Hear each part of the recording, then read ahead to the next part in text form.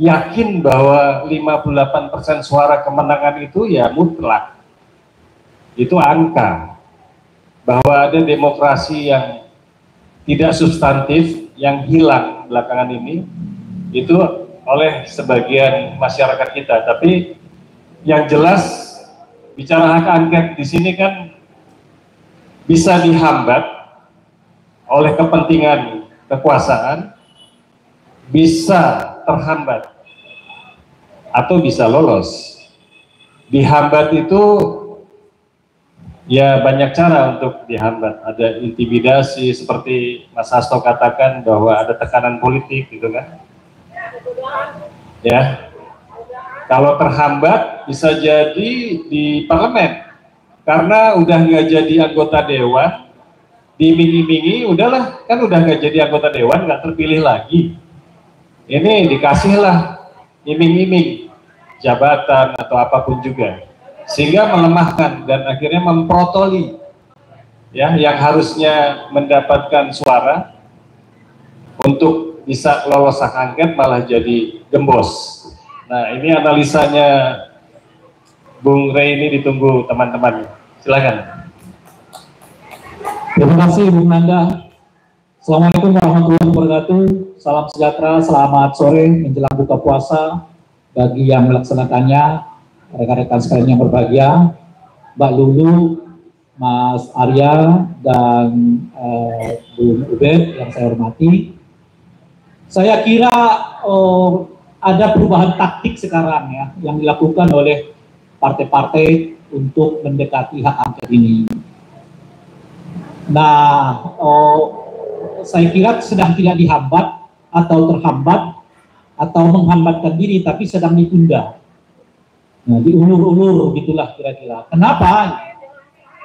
Karena ini kayaknya semacam strategi baru untuk membuat Presiden Jokowi tidak nyaman sebagai presiden gitu.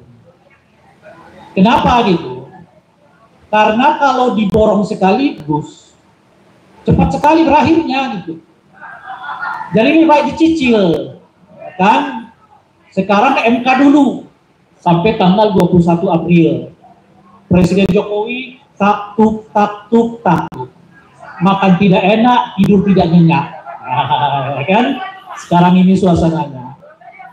Nanti kalau putusan MK-nya kurang memuaskan akan dilanjutkan dengan angket. Setidaknya tiga bulan, empat bulan. Taktuk, taktuk, taktuk makan tidak enak, tidur tidak nyenyak.